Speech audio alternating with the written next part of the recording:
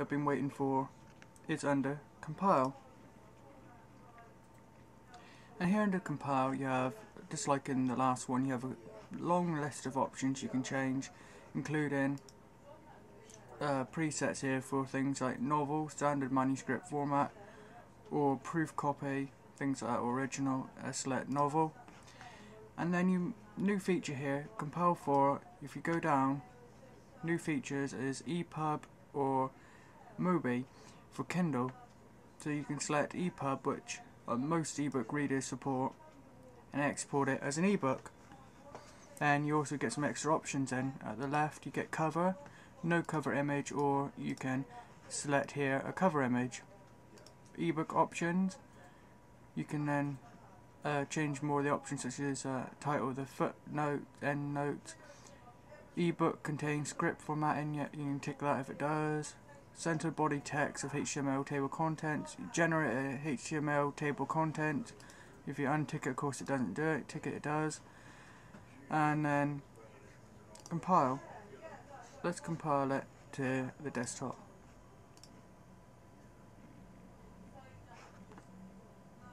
Minimize here it is.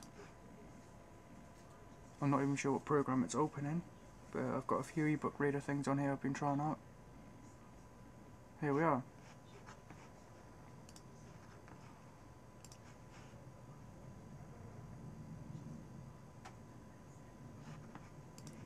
Of course there's not much there at the moment, because we haven't rewritten anything.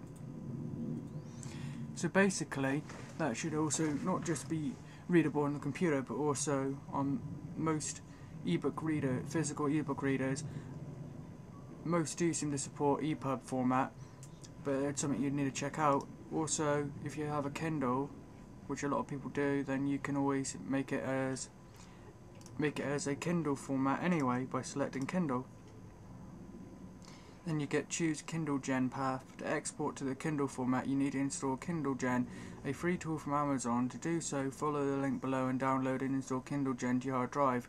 Once Kindle Gen is installed, click choose and tell Scrivener where it is located. I won't do that now, but basically you go to a link, download a file, hit choose and select that file like you do for opening say a project file. Very simple and this is I think the feature that most people will be looking forward to the most. Also, Scrivener is finally coming soon to Windows. So anyway, that's just a very very basic look at the new features of Scrivener 2.0. Also note that quick reference can be got to from up on the toolbar, so can compile, and page view, and comments if you go to the Scrivener website at literatureandlatte.com, you can go to new features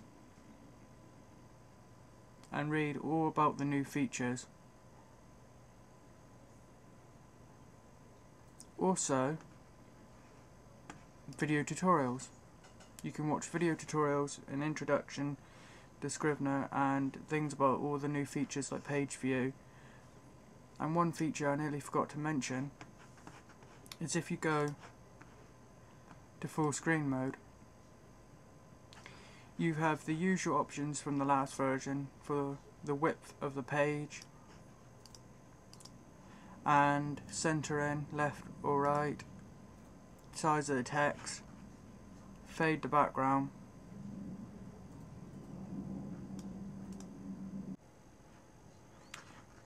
Also new to the second version, which wasn't in the first, is if you hold down the option key, it, this here changes from the width of the page to height, see, and then you can adjust the height of the page.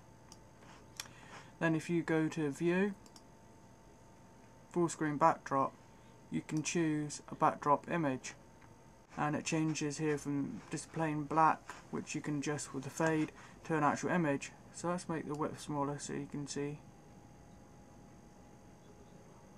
And there's an actual this photograph that I've selected.